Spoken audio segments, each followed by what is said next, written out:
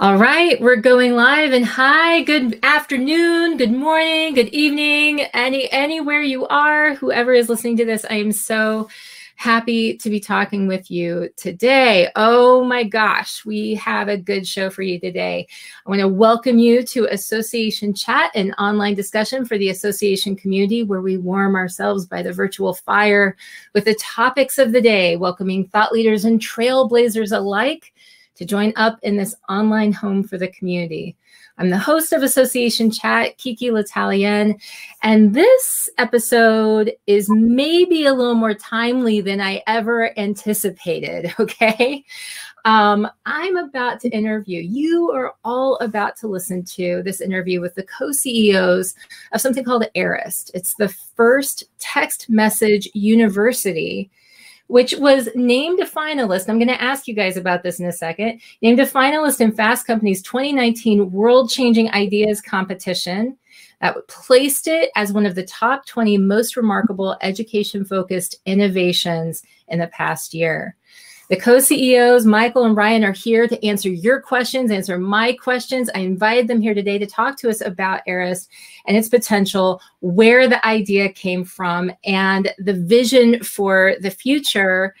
Welcome, welcome, welcome. I'm so glad you guys are here. Thank you. Yeah, yeah. thanks so much for having us. Thrilled to be here.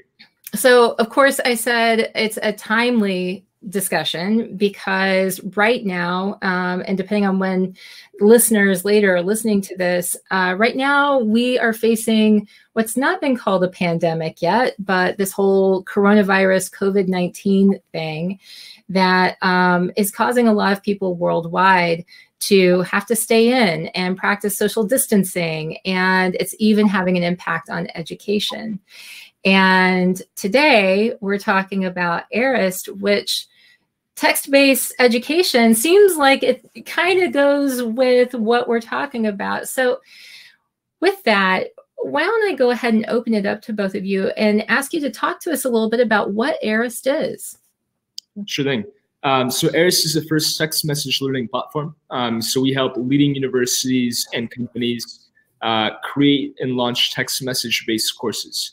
Um, and so a text message course consists of 1,200 characters worth of text, so about two screen lengths worth of content, along with an image uh, and an assessment or links to additional resources, texted to users every single day over the course of anywhere from five to 30 days.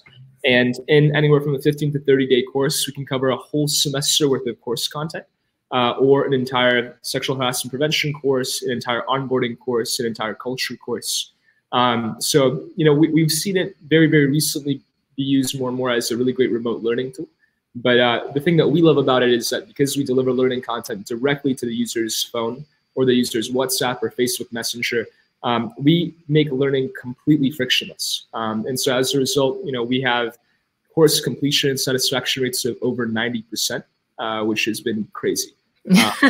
Uh, yeah, people people love getting a text, you know, an educational text every single morning um, and we find that for a lot of companies and organizations, it ends up being a really great way for them to teach their employees and, and members and students. So. Yeah, and um, when we spoke before, I know that uh, you had some pretty big goals for where you see Arist going. Can you guys speak a little bit about that? Sure. Yes. Yeah. So our goal is to deploy a million courses by the end of the year, um, wow. which is a pretty big, you know, scary goal. So, uh, but but you know, so we, we've we've been we launched a platform about five months ago and have been growing very, very quickly. Um, and the best part is that for every course that we, you know, that's that we deploy at a company or association or, or university, we donate one to one of our nonprofit partners to help a student in need. Um, and so far, we've been able to deploy courses in Mexico and uh, Kenya and Ghana uh, for a variety of different use cases. Yeah, see, we have a really great question. I want to get into um, talking about the uh, instructional design and a little bit about what goes into uh, making these courses work because you didn't go into this as let's just make a text solution without uh, doing your research, you know? And so I want to talk a little bit about that. Um, but before I go into that, I do want to touch on, you know, where the idea came from because I really love this story. And I think it, it can also inspire other people to think about um, ways that they can use it for their nonprofits and associations where maybe they hadn't thought about using it before. Yeah. Sure you want to start with story? I can do instructional design. Okay, that's perfect. Okay. Yeah. Um, so my background is in the nonprofit space. Uh, when I was 15, I started a nonprofit called Tile.org, which today is the world's largest conversation series. We have about 450 locations in over 50 countries now. Um, and we, we provide you know live entrepreneurship focused experiences all over the world. And one of our most successful locations was in the war zone in Yemen. And I couldn't understand why more students were coming to our events in Yemen than were coming to our events in Boston or Portland or New York. What I quickly, figure, uh, quickly figured out was that Yemen's educational system has been broken for over four years. And so these events that we were hosting were the only educational resource that many students had. Um, and so I, you know, I started trying to figure out how to deliver more educational content to students in Yemen, and we very quickly started running into pretty significant barriers, right? So in Yemen, less than 24% of the country has access to high-speed internet, uh, mm-hmm. necessary for watching like a video course, for example. But almost everybody had access to a phone or WhatsApp, and so we figured out that if we could deliver learning content via text message or WhatsApp, we could teach you know thousands and thousands of students who currently don't have access to an education. Um, and so, you know, as, as, a result, we we started off with our social mission, um, and initially focused exclusively on you know helping students in need, and has been scaled to you know other use cases of text message learning. But we still care deeply about you know the impact potential for this. Yeah, I love that. I, I you know, and it it really I think that that curiosity was fascinating to really pick up on because a lot of people would just say, "Oh, that's interesting. That's interesting. We have more people who are logging in from there um, and participating, but why? It's the why, right? Yeah. So you find the answer, and then you're like, "Okay, this is a great idea." Okay, Ryan, talk to me about instructional design. What goes into making this thing actually effective? Yeah, absolutely. So as Michael said, you know, the first thing we realized is okay, we've got to somehow harness this different medium of learning, and then that kind of presented another huge challenge, which is how long should the courses be? How often should people get them? Should they be able to choose their time? What types of content are best? And so we spent a number of months running studies with universities like Babson College and UCLA and with students there, and also running pilots within larger Fortune 100 organizations to figure out what types of content were best. Mm-hmm. Um, as Michael mentioned, as far as the types of content, we've seen things like compliance training, uh, course reinforcement, culture and onboarding, and things around behavior change to be really effective. So we had a mindfulness course, for example, that um, is probably our top rated course of all time. And as far as actually creating those courses, you know, when we go into these learning designers, we work with these content creators. What I think a lot of folks forget if they're not on the course creation side is that it can take 40 to 80 hours and thousands of dollars to create a single hour of e-learning, of video-based e-learning um, within a corporate environment. And so that's not adaptable. Something changes, you can't really change it, and it's very expensive. And so for us, we'll go in there and we'll provide a set of content guides, frameworks, templates that will show you here's how many characters, here's examples, uh, here's walkthroughs of us even just putting into the platform, and here's our top recommendations as far as adding assessments to make sure people are following along. And everything we center around is make sure you're asking your users questions often to make sure they're following along, and make sure you can keep that entire soundbite of learning to five to 10 minutes per day because after that, that's when users stop paying attention. So it forces their creators to get to the point and it forces us to, to really take advantage of removing all those barriers to engagement. Well, you know, and it's fascinating because I, when I first discovered um, your platform and signed up to take a sample test. Like, I mean, it was just, I was giving a presentation on bite sized learning and I thought, hmm, I wonder what's out there for, you know, something, maybe there's something text based. I'm looking and I run across your website and I feel so fortunate that I signed up to, like, I really do. I think it was synchronicity at its best, you know, and also great SEO. But um, I, signed up for it and um, I signed up for an architecture, you know, it was intro to architecture, something like the architectural history. And um, it was amazing. I was like, I was really captured by it. I loved the way that I could choose what time of day I would get my reminders about the course when I when I would be most likely to be able to take it um, I found that when it did ask me questions so that I could submit my responses, um, I, I became, and here's something, I became very curious to see like, is there anybody reading it on the other side? What's happening when I submit my responses, you know? And um, I was looking forward to each day, you know, learning a little bit more, a little bit more. And so um, I have to say at the outset, I wasn't sure how it would work because I thought if it's too long, if it's too, but it was just the right amount. It was just the right amount for me to get that nugget of information and for it to stay in my mind. And so, um, to that end, you know, what is the type of course material topics what are the types of things that that fit really well into something like text-based learning yeah absolutely and so the thing that we usually like to say to content creators is that it's really it's less about the subject it's more about the depth of the subject itself mm-hmm. so we like to use the classic example of we're not training surgeons to do surgery via text message right not um, yet. not yet. Not yet, at least. Uh, but, but, what we really will push with them is for most introductory topics where you just need an introductory level, uh, a 101 on anything, um, text-based learning ends up working really well because often it's more about users understanding simple concepts and practicing those concepts than it actually is just giving them an incredible depth of, of a very specific subject. And so most of the courses that people will take online are to just get an introductory level knowledge on any subject whether that's investing, whether that's architectural history, whether that's financial literacy, whether that's something like mindfulness. And so for us, we really text message learning as in capturing a lot of that, what I'd call 90% of, of learning online, which is that introductory learning into any subject for someone where it's their first time really interacting with that content. Oh, go ahead. Oh, no, no, no. It, but, but it's interesting that you mentioned the architectural history course because that in and of itself was a challenge that we got right? Because you know we, we had multiple people say, well, what is the limit of what you can teach with with text messages? I'm sure you could never teach an architecture course over text message, um, and and we were able to. Um, and what we find is that talented learning designers can do anything. It's just you know the difference is that with text message learning, you have to train yourself to teach less instead of and you know and, and write less instead of writing more.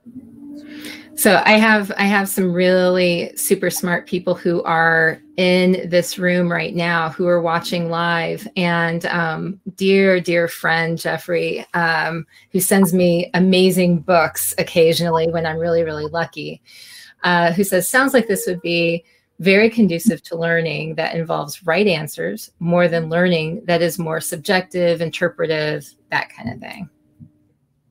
Sure, sure, yeah. sure. So uh, with some learning, I would say yes, but but not with all learning. And so for learning that involves right answers, you know, we've seen text used a lot for what I'd call pre and post work. And mm-hmm. so finding key terms ahead of time, making sure you met, you remember different terms. What I will say is that the other thing we found to be really effective for for things like public speaking, leadership, mindfulness is habit building and habit forming. And so it's not just about giving a right answer; it's about keeping someone accountable for their goals. If every single day you get a text that says here's how you can achieve this goal today. Here's some tips and, and, insights from experts. Text back your top, you know, insights for this day or what you're going to do today. And before you get the next text tomorrow, you have to go do X, Y, Z. And we've seen that incredibly effective. With our public speaking course, we challenged users on day one to go speak to three people on, you know, the subway or the commute to work um, who are just random strangers and introduce themselves. We get some amazing responses with people saying, I'm so shy, I never get out of my shell okay, public speaking seems just a little bit easier because I can walk up to three strangers and it went phenomenally. And so for us, it's not just about right answers, but it's about at what point can you really make it effective to give someone that small interaction. And when users are choosing that time, it's really just up to the limits of your imagination of what you can teach. Yeah. And I, I want to tell everyone who's actually watching this right now, you know, we were talking before everything started um, about the ability to show you a demo and kind of walk you through. And so, um, because I don't want to disrupt that, because, you know, I don't want to accidentally like cut out our interviewees or anything like that.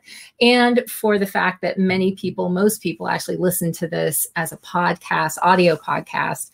Um, I'm not going to have that here, but I do want to offer some kind of demo, and I'm putting you guys on the spot, mm-hmm. some kind of demo on the associationchat.com website as a follow up. So when I post the replay, maybe we can sync up and I can share that um, with them. So, um, so to that point, I do have another question from someone who is all about team building. And of course, John Chen asks, what have you seen for team building with text? That's an interesting one. Okay. that's an awesome question. Um, yeah, so so I think the number one team building use case that we've seen is culture building.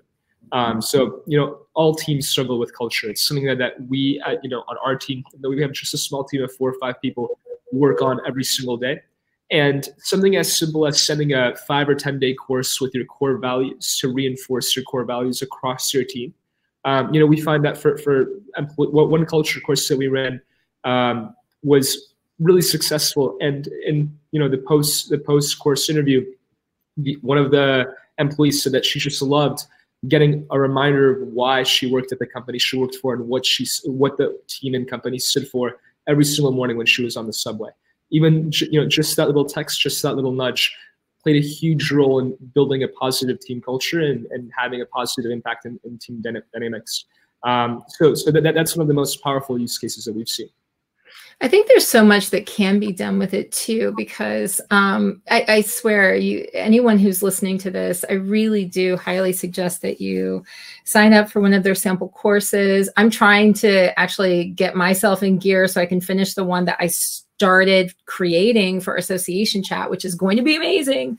But um, you know, once you do it, and I'll say this: as soon as when you said that people look forward to that every day it does create a habit. And in my own case, when I ended the course, I immediately wanted something else. I liked that bite sized learning that I was getting every day. So I overdid it. Like I signed up for a couple at once. And I don't think that's the way I do it either. it was it was exactly the perfect habit adding that bit of learning every day, but I could totally see how I could design this uh, you know totally doable learning into those bits of time every single day and just this ongoing stream. It was really incredible how it did create that habit for me. And you know that i was really looking forward to the next thing. And so um, jeffrey says i'm excited about this potential and getting people to engage in behavior change that produces new habits is really great However, that in and of itself is not technically learning. It's merely the first part of Kolb's experiential learning cycle, having the experience. Learning requires reflection, capturing insights learned, and then applying that learning over and over. Do these courses prompt people in that manner? Yeah, yep. absolutely. And, and so to the question, I would say we, we couldn't agree more. You know, in our content guides and templates, the thing that our content creators probably think we sound like a broken record on is we say, review, assess, get feedback, get feedback, assess, and it says it on every single page. And so if you're building in a behavior change course, we would like our creators to be constantly not only asking users, how are you using this in your life, reflect on this, but to actually go through those answers in the dashboard and to reach out to these users and say, look, mm-hmm. like this really affected you. It seems like this changed your life. And, and these, while the learners are reflecting often, the creators can actually interact with them in that way and just say, look, we know that this is very powerful. How are you going to integrate this further? And then often what we've seen is at the end of the course, it'll require users or learners to make a plan of how going forward they're going to continue that habit of trying something new or learning so that they can continue learn themselves. Yeah, it's um I thought that with the example of the architecture our architectural history course, you know, there would be examples of um, learning a concept and then applying it to a picture and then then interpreting it um, and applying it the way that based on what you learned how you would apply it to that structure that you were looking at. And then as a learner i would be responding with what you know so this is how that reflects that concept. And um, i really really enjoyed that piece of it because it did feel like it was doable that it was um, you know, it wasn't just I wasn't going to do anything with that information, that I was applying it and I was having to then respond. So that I really kind of grabbed hold of what that concept was. And so um, just fascinating stuff. And immediately I started thinking of how I could start using this in the teaching that I do and, and the education that I do. I love that this exists. So to that end, so I asked you, I asked you about you know some of the concepts be- behind like how it was created and how you know how you're putting it together what are the challenges that you're facing right now? Like i imagine that it's hard when there are so many different directions you could go and there are so many different ideas. Like how are you deciding what to do now? What are some of the challenges that you're facing? Yeah I, I, think i think you hit the nail on the head. Like the biggest challenge we're facing is is figuring out exactly where to start off with text message learning because you know we, we've seen use cases ranging from authors using this to reinforce their books and conferences using this to reinforce the conference experience um, to you know to, to corporate tons of different corporate training applications um, and sales training applications and community building applications. Um, and so for us you know we're, we're just trying to figure out where is that one place where we can just focus all of our energy to start and then and then spread from there um, so, so I think that that's been our biggest challenge, and I think also, you know, there's a natural skepticism that people have when it comes to text message learning. Um, you know, oh, I, I remember telling one of my professors about about it, and he was like, "That sounds like the most gimmicky idea ever." Uh, and then he took a course, you know, and then and then two weeks later, I came to, came to his office, and he was like, "I get it. Like, I I get it. That was actually really cool." And so. And, and, so I think you know getting over the skepticism barrier has been a little bit difficult. But the awesome thing is that once people take a course, they instantly understand the power of the medium. And and we, we are also based on you know behavioral science research from Stanford and UPenn, um, and so that definitely helps in terms of you know the, the skepticism barrier.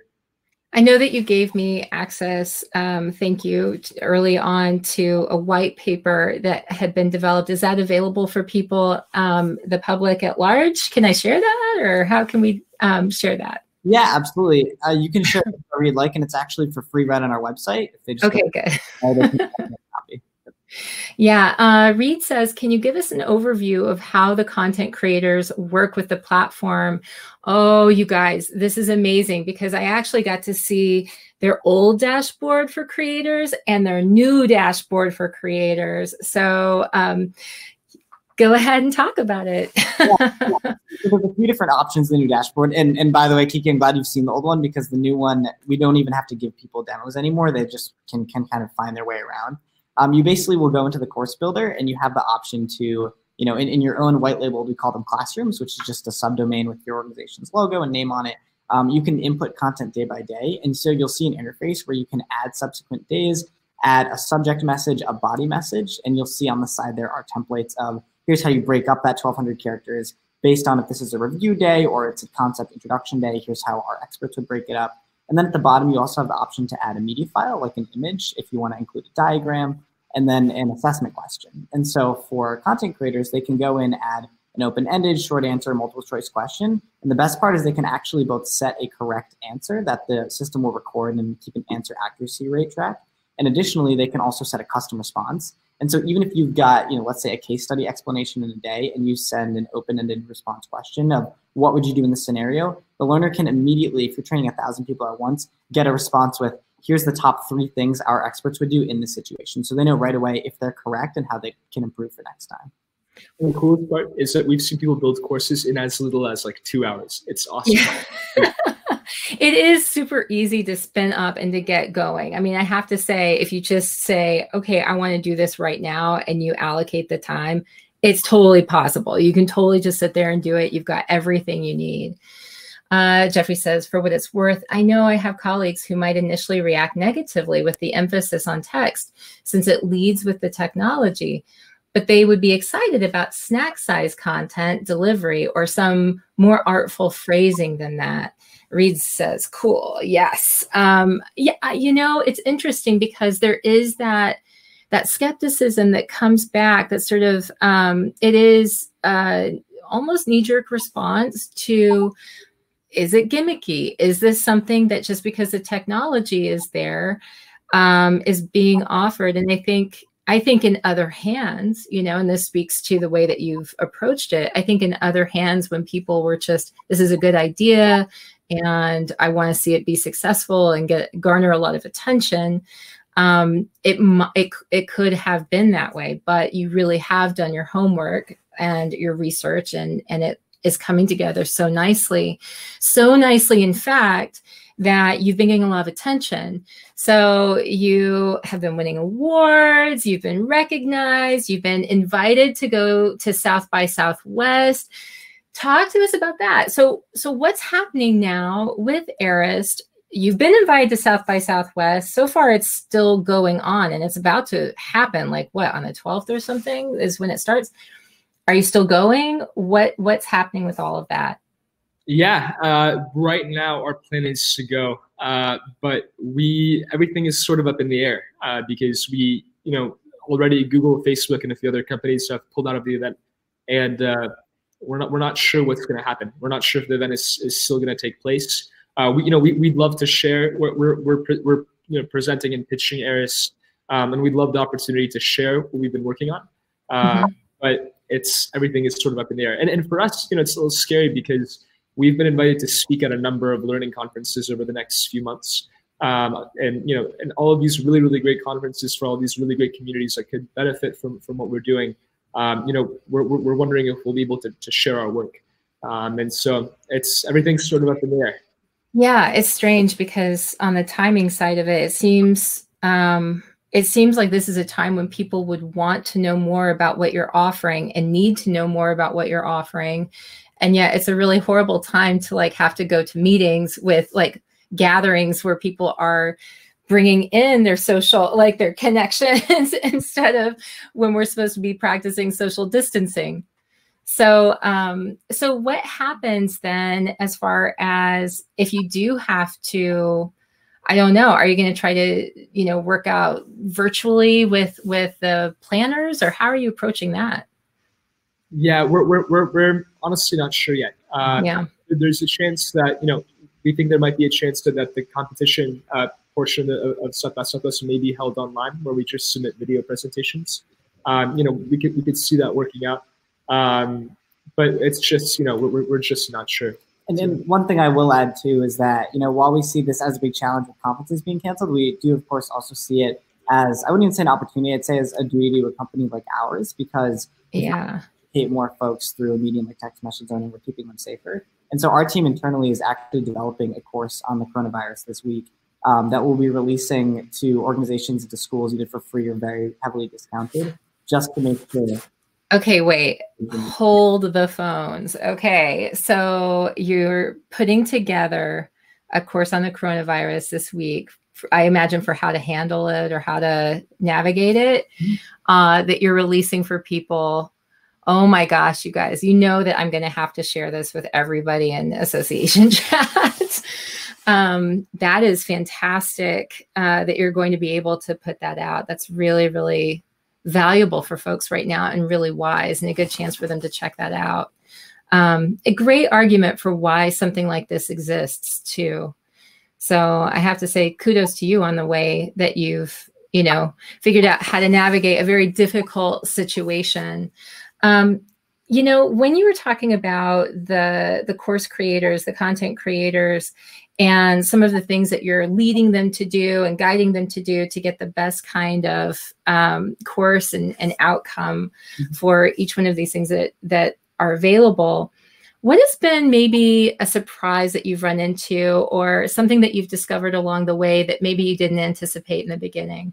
Yeah, absolutely. And so I think for us, what we thought would be the most challenging thing in the beginning would be to get folks to actually trim down their content into just a small soundbite. What we've been really surprised at is is really the ability of instructional designers who are typically writing courses that are 10 to 50 times as long um, and their ability to actually succinctly describe concepts. We thought we would need to give them far more help than we've actually had to. And that's because what we've learned from chatting with a lot of folks is often they've got in their head the spark notes on here's the most simple things people need to know. Here's the way they need to know it. But often we've kind of been caught in this idea in e-learning and in just traditional learning in general, where we need to be more verbose and give more detail and all these things that folks aren't going to remember. When in reality, you know, 90% of that content you get in that one-time interaction, you're going to forget by the commute home. Yeah. And so we've actually just been so surprised by instructional designers, some of whom have never even developed learning for microlearning at all, let alone text message-based learning, which we sometimes consider super microlearning. Yeah. Uh, and, and just how easy that is for them because it's almost natural to just give something in a small soundbite in a simple way, like you would in conversation, as opposed to writing something very long form that we just do not have the attention spans to read or to watch. I mean, I do love that it, it does allow you to just talk about a very simple con- one concept, one major point, and it gives people the space to mull it over for 24 hours and then come back to it the next day. And I think that that that space, that room, is really beautiful for building that in because it it controls the way people like me who might like there's also this practice of binge watching and like you know where we can't hardly help ourselves. We're like oh i can i can fit in five more of these you know? And that sort of spacing it out so that you're taking the time to process and really absorb that information i i love that i think that it was for me that works really really well because it forces me to slow down you know yeah. have you yeah, I was going to say, have you, so as far as the feedback from learners, I know that you have been getting a lot of feedback. Um, what are some of the things that you're hearing? Has it changed the way that you maybe in the beginning set out to, you know, create this product and further develop the platform? Yeah, honestly, I think at the beginning we were as skeptical as everybody else. Uh, and, so for us, you know, we, we weren't sure if the data would, you know, we, we had this hypothesis of, of, how we thought that people should learn and how we thought we could utilize this technology. And, um, and you know, we wanted to see if our hypothesis held up. Um, and, and it's been phenomenal because, because all, you know, at this point, over 2,000 people have taken an Arist course and our hypothesis has been held up. You know, we find that there is a small portion of people, you know, five to 10% of users who, you know, just hate text message learning and there's nothing yeah. you can do about it. Um, but but what we found is that you know the vast majority of users, 90 plus percent of users, absolutely love it. And the most interesting thing is that we initially thought that this would be a great tool for you know Gen Z and millennial users, and we were scared that you know users over the age of 50 might not like text message learning as much. Uh, and we've been proven wrong completely. We, we actually find that users over the age of 50 like getting their daily text message much more in some cases than Gen Z and millennial users. It's crazy. Really? Oh my gosh. And the reason why we think is because it's oftentimes so much simpler than having to log on to a video platform and you know either download learning content or load you know a whole video course it's just you know everybody gets a text from either their spouse or their kids or their parents or their friends um, and so it's such a natural and frictionless learning medium that an even intimate medium. an intimate medium as well. Yeah, mm-hmm. uh, that that people of all ages and of all backgrounds like it, which which we've been thrilled by. Yeah, absolutely. I mean, I have to say that um, I've been sort of oddly protective of thinking about the future for this for you for you because I think right now you know, you're competing with a text from my husband and maybe an occasional like prodding to go vote when in the upcoming election, but there's really not a whole lot of competition there. And I'm like, oh, you know, I like that there's this controlled um, way that I'm receiving this information. I hope not too many other things compete with this in the future. Have you heard that? Yeah, yeah, absolutely. And so the, the biggest thing, we really are the first text message learning platform. We, we've searched far and wide. And I think the biggest thing right now are there's two categories of substitutes. The first is what a lot of text messages are currently used for, which is mm-hmm. en masse marketing, one to one communication, um, and, really just kind of one to many single text. And so for that, a lot of users feel spammed. They don't enjoy the experience. I don't want TJ Maxx telling me there's a 40% off. right?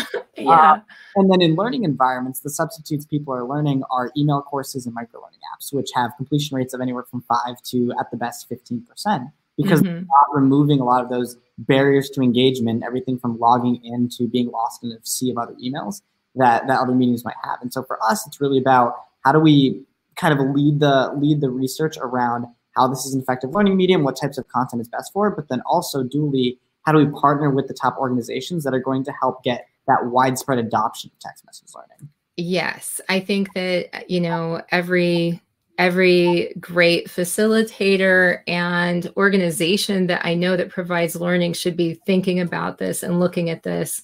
Jeffrey, to that to that point, Jeffrey says, I could get very excited about using this approach to facilitate learning before and after an actual in person learning experience as well.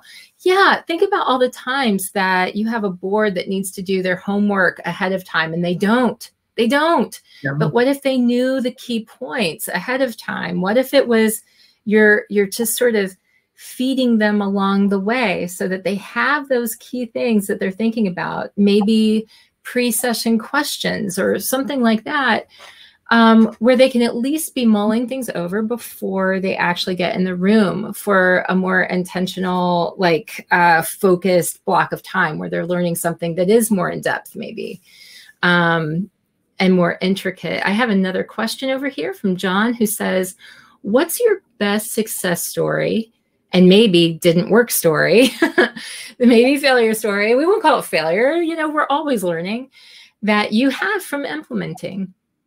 Yeah, uh, it's it's going to be tough to choose the success story. I'm going to be honest. Uh, I think we just ran a course uh, with a large multinational company um, that makes wind turbines amongst a number of other things. Um, and they they ran a course for about 50 of their employees. Actually, you, you led this pilot, so if you want to talk more about it. Yeah, yeah, absolutely. And so for us, you know, for, for this organization, what they really wanted to do, it kind of goes back to your idea around course reinforcement, um, is they actually went in, did this big learning with a bunch of their folks, and then, you know, would survey them after this. It was a one-time workshop. It was a big interactive seminar. They spent thousands of dollars doing this. And after the fact, they found that learners couldn't retain almost any of the information. Um, and and you know when you quiz someone 10 yeah. days had it and there's really no interaction for a few dollars per person to add that text message course which was less than an additional 1% of what they'd spend that went up to about 85% in what people remembered after the fact um, and they had a really intensive seminar on financial markets and a bunch of different things and they were asking users to describe companies describe the analysis they had of these organizations and people would respond in very long form. You know, you, you think text learning, you think people just want to respond with like a multiple choice answer. We got some amazing responses. And for this organization, that data otherwise would have cost them thousands of dollars just to collect, not even counting in the time that you've got managers pounding people to give those responses, right? Mm-hmm. So for us, it really proved efficacy in the medium itself because for almost no cost, they could get this amazing treasure trove of data, both in responses and in the frequency of those responses. Wow, that is that's really fascinating. What an interesting use case and example. That that's amazing. Um okay, so I want to go ahead and talk a little bit about you you both are working together as co-CEOs on this. The challenge of navigating an exciting business as leaders working together there have to be times when you know you're having these discussions and thinking are we ready for this? Are we ready for what's about to happen? And what does this mean for i mean i think about the interpersonal dynamics um, of anything of any group. And it just has to be you know really exciting and intense also at the same time. So what's it like when you're working together you know what are some of the things that you're figuring out along the way about how to make that team sort of function really well and making sure that you keep that relationship going strong? Yeah no excellent question. Um, well for, first off like i love i love the team that i get to work with. I, I love ryan i love maxine and joe uh, our you know our other two team members. Um, we have an incredible network of mentors and advisors that have been super super supportive and, and give us tons of feedback and advice uh, so I think we, have just been really, really lucky in terms of you know the like the phenomenal people that we that, that we get to be around. Um, and you know, Ryan and I are, are carbon copies of each other. We, we, we even get mistaken for brothers sometimes. So um, we like I can always count on Ryan to to you know if, if I can't make a meeting, he can he can pick it up. If if, if you know if Ryan can't make a meeting, I can pick it up. Um, and and then you know we just we communicate clearly all the time um, and have clear guidelines for, for communication and, and for decision making. Um, and, and our goal as well is just to move quickly.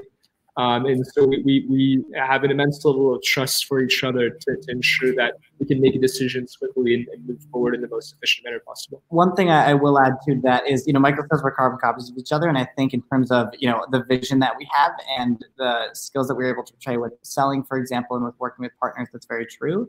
But I think that one reason that we work so well together is because we also have incredibly complementary skill sets. Uh, Michael is very much the optimist of the team. I am very much the realist. You know, he's very good at kind of here's the broad vision, let's go, go, go. And I have more of the operational mind. Here's kind of the step by step to build the organization under that. And so I think that in any team, that's what's really needed is that can you cover each other's strengths and weaknesses? Sure. But even further than that, can you have what I call the balancing energy between one another? Do you have someone who is very optimistic and can lead the charge? And you have someone who can kind of get all those pieces together to make sure that charge doesn't get pulled back, you know? And so I think that those are often the most important components. And so many small teams will will focus their energy on product or on revenue numbers. And for us, by putting energy and getting energy from the people you work with, that's that's kind of something that won't burn out. Yeah, I, you know, I'm very thankful that you have each other, that you have such a great team that is working on something that I think is really transformative, transformational for everyone. I mean, I, you know, I would say the meetings industry and the association industry and those industries that I'm tapped into in particular. But as you know, there's an association and a nonprofit for everything. And um, I really do see this as something that can have an incredible impact around the world. And so um, it is good to see and hear that this is well thought out and this is a solution that is um, something that is backed by people who are able to, you know, come together as a team and work so well together. When you think about, um, so there are two questions I have, and they're more business minded. One is you are both incredibly gracious and um, wonderful to work with. I mean, I have to say that, um, and I've talked with Michael before with his time and his, I know that he's so busy. I know you both are so busy. Um, always been very responsive. And, um, you know, I think how, so the first question is when you have so many people who, like me, ah, like me, obviously know that there is great value and there is something really amazing that they can do with this. How do you gauge um, you know who to spend your time with? Because you can't do that with everyone. And well i'll ask you that question let you answer it and then i'll ask my my second question. Sure thing. Um, for, for, for us we, we care deeply about our customers and it doesn't matter if it's a small three person you know restaurant in northern michigan or or if it's you know geico or or some huge company um, we, we treat everybody the same uh, mm-hmm and and we we dedicate uh, an immense portion of our of our day uh, communicating with customers and ensuring that you know using the platform is easy and ensuring that their courses are are as great as they can be. Um, and it's it's you know it's a core value of our company, and um, we're you know we, we we have a policy across our entire team that if a customer needs something, we will shop everything and take care of it. Um, and and you know so, so far we we've been able to service every customer request within hours. Um, and as as you know, customers grow, we we will need to start hiring more and more people. But we just um, you know, for, for us, the customer always comes first. And so, and if I can just add quickly too, the thing you're probably thinking is, you know, that sounds really great, but how does that kind of scale and and how does that even work? You know, for us again, shout out to Joe and Maxine and, and our incredible team. Um, there's a natural simplicity built into a lot of what we're doing, and we spend an insane amount of time making sure that everything from navigating the platform to receiving those texts to signing up is as simple and as frictionless as possible. And a lot of the customer service requests we end up answering are, "What else can I use this for?" And that's a much yeah. more conversation to have than asking. you know, I've I've had I've I've used software like everyone else, and you go on customer support and you get a one eight hundred number and you can't get it working. Yeah. By removing all of those sort of points of friction, um, we can devote to what Michael talked about a lot of our time to really having the conversations that matter. Yeah, I mean, I have to say, I, I, do have a feeling that this is you're like one of the best kept secrets type of thing right now, and that's about to explode. Um, so that was my next question, which had to do with scaling. Um, you know, this is a struggle. This is a challenge for every type of business that's out there that wants to be profitable and grow. It's it's a challenge for a lot of people who have a great culture, uh, great corporate culture, great uh, group of people, and have to figure out how to expand that too. So you know you have this beautiful thing. Are you a little nervous about those next steps with with growing it and how you're going to you know find those team members that are the right team members and where what happens next? Yeah definitely. Uh, we, we we are a little bit scared of i mean we, we know that these next few months are going to be simultaneously amazing. Uh, you know as because you know we, we, we just we, we actually are just opening up our platform to the public. Um, we, we just you know in the past two weeks have started you know letting more and more people uh, use Arist and, um, and, and so we know that over the you know we we've, we've signed up I think 70 organizations in the past like week, uh, and we know that that's just going to continue to to take off over the next few months. Um, and so we're a little bit scared of it, but we you know we also as as Ryan mentioned previously, a lot of we, you know we've spent the past few months just refining our processes for bringing on new clients and for servicing new clients and for ensuring that the customer experience is fantastic. Um, and, and we're, we're constantly releasing new tools and processes to ensure that that, that we can scale. Um, so, you know, it's going to be a fun ride without a, uh, but, but we, you know, j- just the, the thought of, of thousands, thousands more people using text message courses and, and learning more effectively and actually remembering the stuff that they need to learn. Um, you know, that, that, that's, uh, it, it drives us a lot and it's a pretty compelling mission to, to work behind. Yeah, I, I'm really excited about my first course coming out for Association Chat and then seeing the other courses that are going to come out through it um, using Arist. Uh, I do want to remind everyone who, I guess maybe not remind, I have to tell you the first time, right? Before I can remind you. There are some polls. I'm very interested in seeing what your responses are. Um, I have uh, three questions on one poll. And that is, do you have courses that could be adapted to course by text? Do you currently have courses or content that could be adapted to course by text? Yes or no? How likely would you take a course by text? Likely or not likely? And would you like to know when Association Chat's course by text is available? Yes or no? Place your votes now. I have a record of it. And I'll, I'll let you know right now that we have 75% have voted yes, that they do have courses or material that could be adapted to course by text. We have 66.7% who say that they would be likely to take a course by text. And we have 66.7% who say that they would want to know when Association Chat's course by text is available. So that's exciting to see. You'll be hearing about that soon.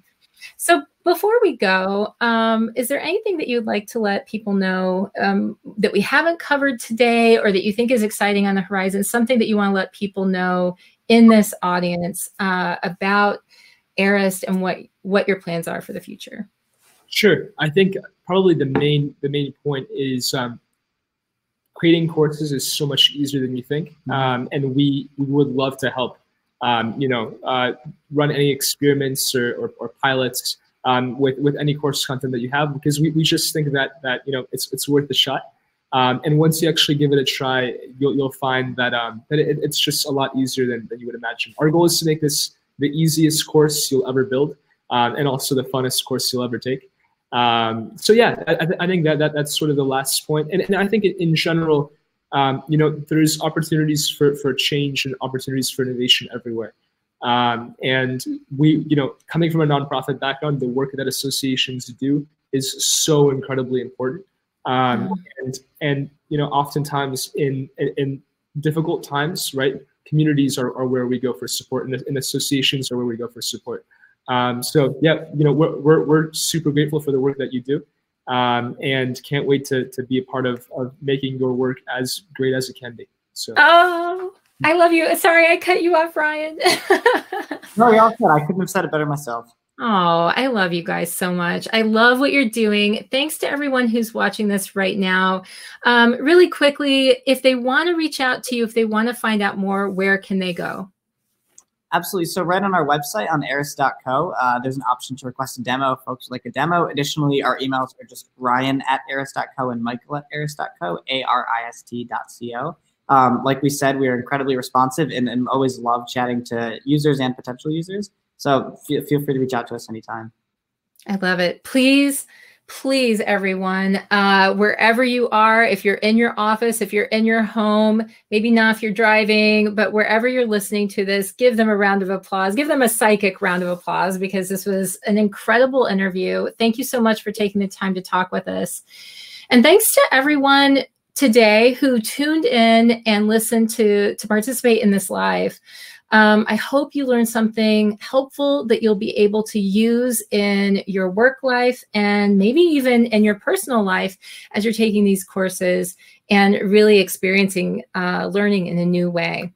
Until next time, everyone, keep asking questions to learn every day. As Joseph Campbell once said, the cave you fear to enter holds the treasure you seek. Have a great rest of the week and weekend, everyone. Thank you. Thank you both. Thank you. Thank you.